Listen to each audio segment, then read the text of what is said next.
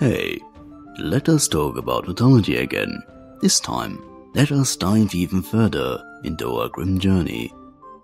But as always, before we are getting started, please like this video and subscribe, and if possible, share this video as well.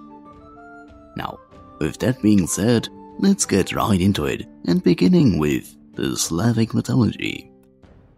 In Slavic mythology, Morana, also known as Marzanna in Poland, Morena in the Czech Republic and Slovakia, and Mara in Eastern Slavic cultures, is a complex goddess associated with winter, death, and the cycle of nature's rebirth.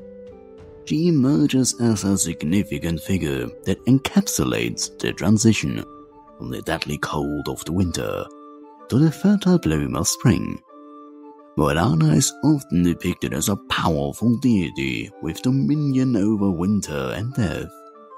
In mythology, she is seen as a bringer of the season's fatal chill, embodying the natural decay and dormancy of the winter.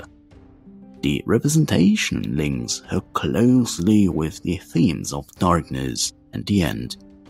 Yet, she is also a crucial part of the cycle that leads to renewal and rebirth. Her role extends to guiding the souls of the deceased to the underworld, again a common theme, underscoring her as a bridge between the living world and the afterlife.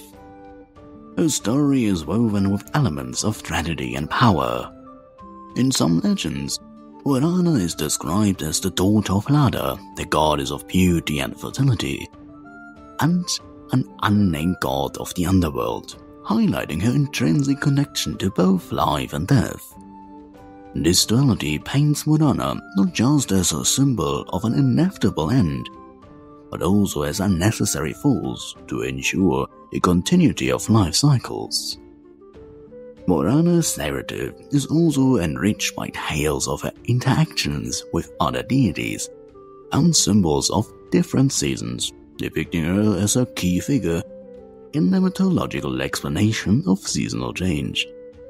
Each year, as winter recedes and spring approaches, her influence wanes, symbolizing the defeat of death and cold by the life-giving forces of spring a recurring theme that illustrates the perpetual struggle between the different forces of nature.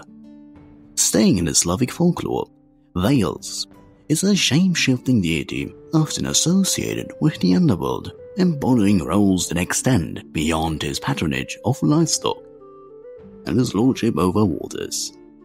As a god of the underworld, Veles is depicted as a custodian of deceased souls marking him as a significant figure in the realm of death and the afterlife. His connection to the netherworld is symbolized by his frequent depiction as a serpent or dragon, creatures often linked with subterranean realms and deathly powers in various mythologies. Veles' role as a death god is intertwined with his attributes as a shapeshifter and trickster in myths, he challenges Perun, the god of thunder and the heavens, by ascending from the underworld in various forms, whether as animals, people, or even elements of nature.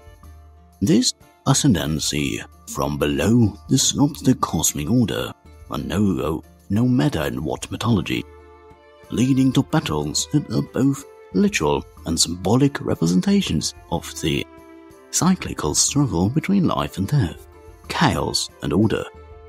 The aftermath of these battles, where Veles is defeated but not destroyed, represents the continuous cycle of death and rebirth. A fundamental aspect of Slavic belief systems regarding the natural world and the afterlife. Furthermore, Veles' domain over the underworld and its association with magic and mystic arts also underline his role as a mediator between the earthly and the ethereal guiding the spirits of the dead to their final resting places in the shadowy realms he governs. And this places Veles at the heart of Slavic rituals concerning death, where he is both revered and perpetuated as a pivotal figure who controls the fates of souls beyond their earthly existence. Venture with me into the shadowy realms of ontology, where hidden connections and forbidden knowledge await.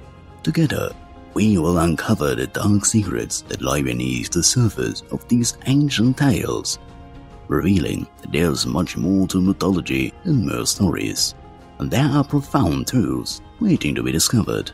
So, join me on this journey and let's explore the mysteries together. Thanks for watching.